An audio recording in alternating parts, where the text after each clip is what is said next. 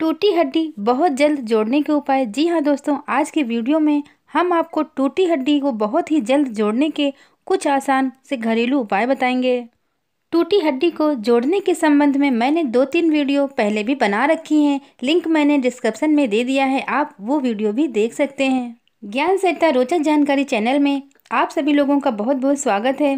Video में आगे बढ़ने से पहले फ्रेंड्स, अगर आपने अभी तक हमारे चैनल को सब्सक्राइब नहीं किया है तो प्लीज़ सब्सक्राइब करके बेल आइकन को ज़रूर प्रेस कर दीजिए, जिससे कि हमारी आगे आने वाली नई वीडियो आपको सबसे पहले मिल सके। वीडियो पसंद आने पर आप हमारे वीडियो को लाइक और शेयर ज़रूर करें। तो फ्रेंड्स, शुरू करते हैं।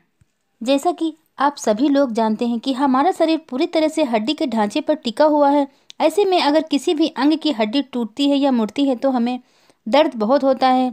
तो आज की वीडियो में हड्डी जोड़ने के हम आपके लिए कुछ खास उपाय लेकर आए हैं। जिन उपायों को अगर आप करेंगे तो आप पूरी तरह से अपनी टूटी हुई हड्डी को आसानी से जोड़ पाएँगे। इस उपाय को अगर आप सही ढंग से करेंगे तो आपकी टूटी हुई हड्डी सिर्फ़ तीन दिन में ही जुड़ जाएगी।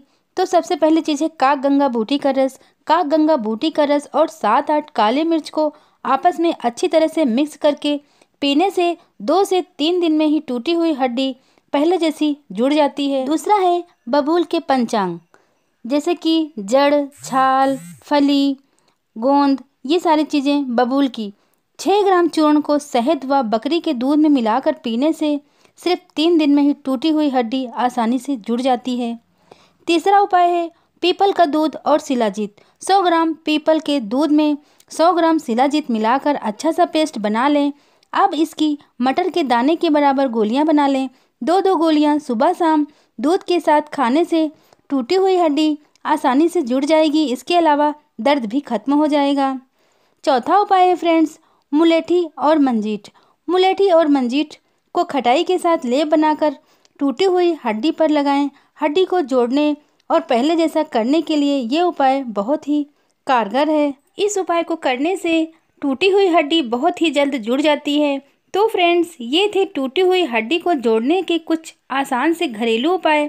तो फ्रेंड्स अगर वीडियो आपको पसंद आई हो तो आप हमारी वीडियो को लाइक और शेयर ज़रूर करें।